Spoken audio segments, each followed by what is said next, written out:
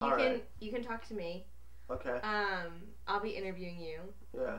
Um, so can you introduce yourself, say your name, and what role you had on set? Well, uh, my is Panther Johnson, and I handled most of the uh, physical activities on set. Now, what you think? It's just stunt coordination. So, uh, fight choreography, like what is physical? Yeah, a lot of fight choreography, all the sword action. I mean, I mean, you know, anything that happened in Medal Fist that involved physical activity, uh, I make sure that we spend several hours per day working on that to get that just right. So, do you have any training? To No.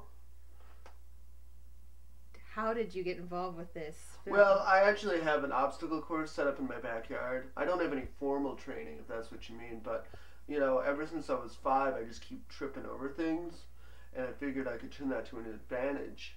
You know, so I just every day I just go out of my house and I, you know how like you could just walk out your front door, right? You know, like everyone does every day. No, no, no, no. I I have to go out the window and I have to do it through the somersault, and I've trained myself to do that through uh, years of hard work. So, how did the crew of Medal Fist find your uh, resume and your experience? We were both at a Panera, and who's who's we? Oh, me and the executive producer. Okay. Uh, yeah, we were. Uh, yeah, Patrick and I were uh, in line together at Panera, and then you know when they called my name, instead of just me like picking it up like a normal person would, I uh, you know set I set myself on fire and dove and grabbed it, and he said, "I want that in my movie." What was your order at Panera? It was a cup of soup, and it was really good. Okay, great. Um, can you can you um, explain to me what sorts of influences you draw from when you go to create stunts?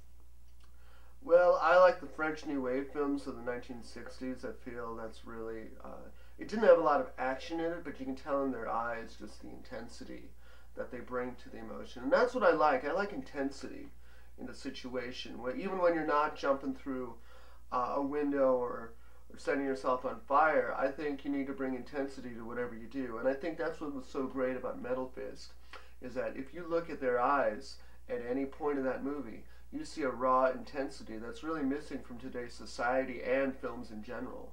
So, as far as films of the 21st century and drawing on influences uh, of the current time, do you find any sort of events influence your own take on physical violence?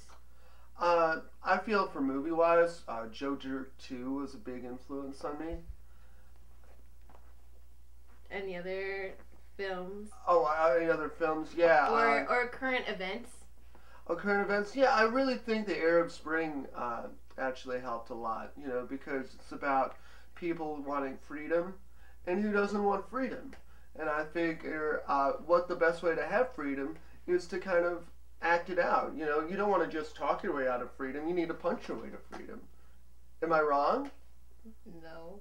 Good. Um, do you do you have any um favorite moments from being on set or working with a particular actor, or do you find any actors particularly difficult to work with?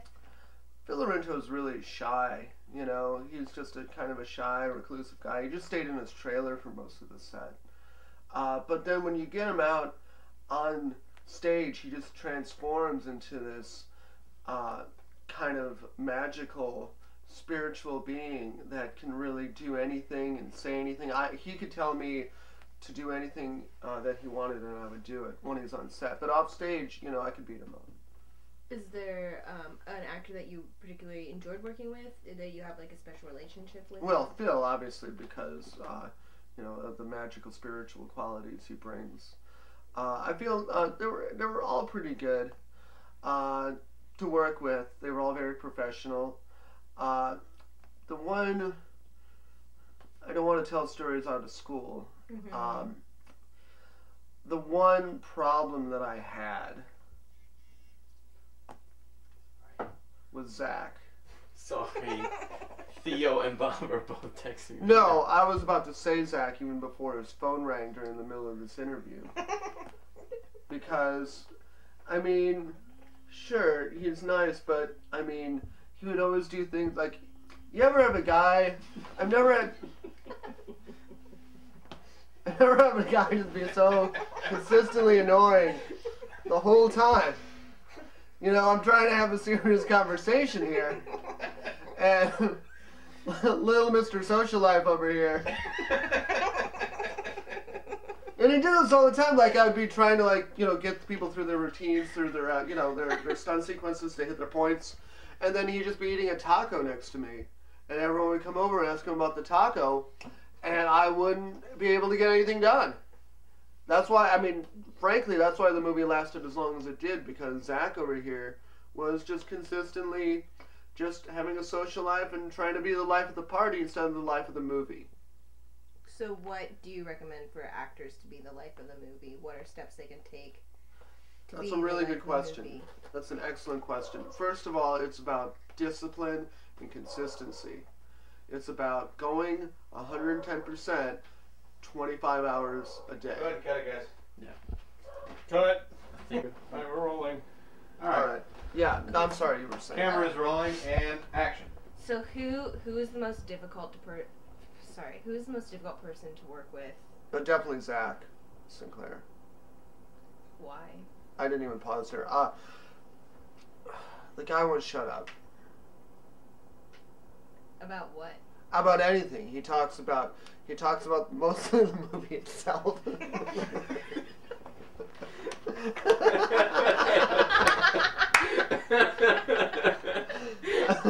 Just go ahead and take a moment. And Okay, and yeah. Roll, we'll roll with it.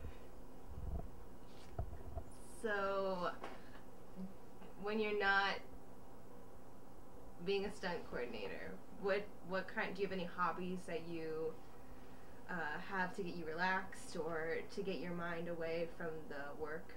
Oh yeah, absolutely. Um, I'm a stamp collector. I do some tai chi.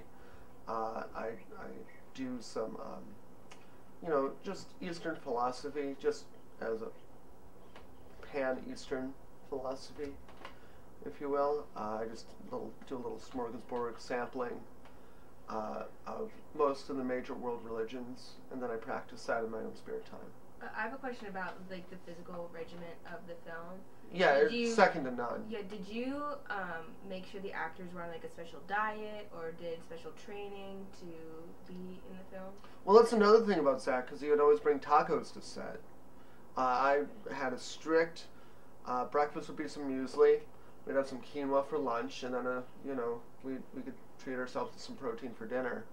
Uh, but uh, Zach just kept bringing fucking Junior's tacos all the time. I mean, who needs tacos at 7:30 in the morning?